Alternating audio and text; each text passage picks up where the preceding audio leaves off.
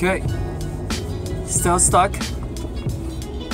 Still stuck in this Manila traffic. How awesome is that? But I've decided to be uh, productive and multitask. But I'm not distracted. It's really crawling right now, as you can see in the background here.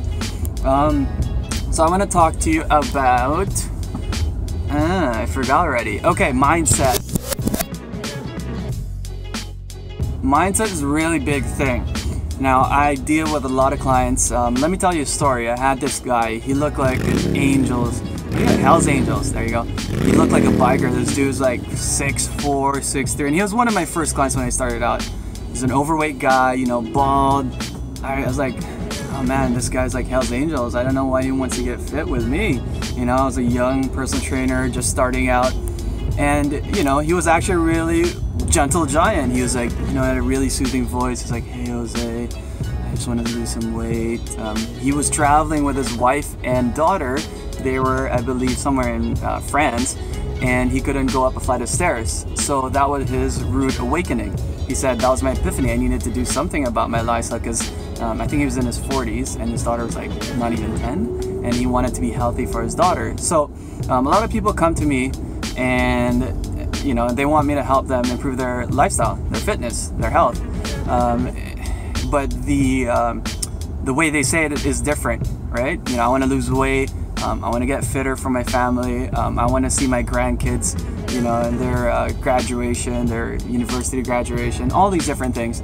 Um, and, you know, it, it, it helped them through fitness, right? Now, one big thing when you want to get fit I say you have to be mentally fit to get physically fit. You know those happy chemicals that you get after you know good run, that runner's high. Um, you know when you move physically, it changes you chemically. Um, so um, there's that mind-body connection. You really have to have that, um, no doubt. You know, think of someone who has, who's who's very confident, who who can talk to anyone, who exudes um, sex appeal, whatever, self-confidence, self-esteem. What do you think of? Just think about the posture, right? Shoulders back, chest out, chin up, big smile, talks loud. What's up, guys? Huh? Hey! You know, with a big smile. Body language, we really can um, judge people just by the way they look and how the way they move, right? By the same token, on the other side of the coin, um, someone who's shy, who's very enclosed, is very shy and enclosed too with their posture, really quiet, soft-spoken, looking always, their gaze is always downwards, not eye to eye, you know, they're not confident. So there is that mind-body connection. Now, mindset, going back to that, why is that important? Well, you have to be, you have to know that it's not all physicality. You have to be mentally fit. You need to know that this is a tough um, tough thing to do. This guy, this biker dude, was like 6'4". He's not even a biker, but he looked like...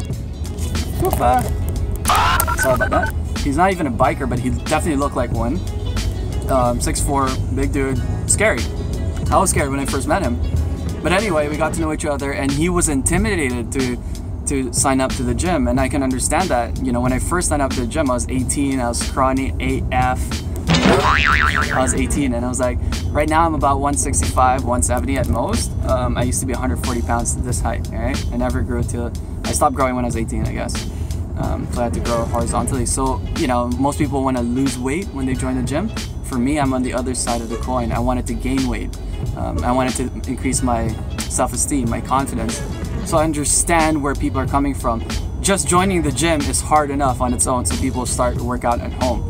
But you have to remember this and you have to have this mindset. People are not in the gym to laugh at you, to laugh at the noobs out there, to laugh at the newbies, right? They're there because they want to get fitter and healthier. And people always tell me, but Jose, I feel like they're staring at me. You know, I stick out like a sore thumb. I understand that, but trust me, they're too busy about, you know, minding their own business. They're thinking about, um, they're thinking about life they're thinking about their laundry. They're thinking about what to cook for dinner when they go home.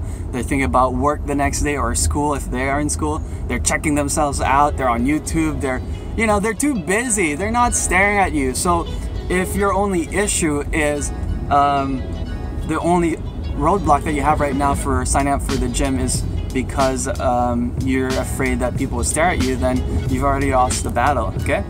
What I'm trying to say here is don't be a prisoner of other people's thoughts, all right? It doesn't matter. Don't, they're just thoughts. They're not roadblocks. They're not, you know, what do you call those things? Roadblocks, I guess. Um, those obstacles that you have to hop over. They're not, it's not a wall. It's not a physical wall. So don't defeat yourself mentally before you can even sign up for the gym and start exercising. So whenever you try to do something new, you have to remember that you have to get out of your comfort zone. Okay? It's not going to be easy. When you have that mindset, then you know you're close to one step closer to at least getting fitter, right? Um, yes, it's it's it's definitely intimidating to sign up for a gym, especially if you're not fit, right? And you see all these fit people or people that seem, seem to know what they're doing. You know, it's a lot easier to join a gym with friends that are around you, but if they don't live near you or work near you, then it's a lot harder to sign up on your own. But don't let be that excuse that will stop you from getting a healthier body, okay? That's all I'm trying to say right now. You have to have the right mindset. You have to be mentally fit before you can be physically fit. You have to know that it's not going to be easy because if it were easy, everyone. Yep. I need I need to put something here. Push it in more. That's what she said. oh man. All right. I guess that's it. That's it, guys. So um, that's all I'm trying to say. You have to be mentally fit to get there. Okay.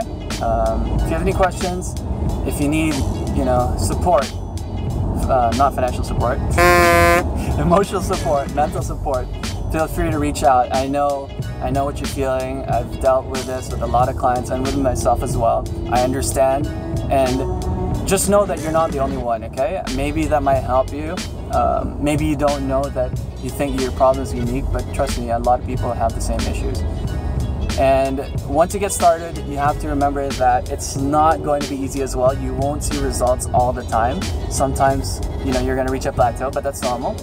Going to the peak of, you know, the pinnacle of your fitness, it's not just up, up, uphill. There's some dips on the way too. It's never straight away. Okay, so if you know that, you know that you can expect that you will plateau. In fact, you will fall off the wagon.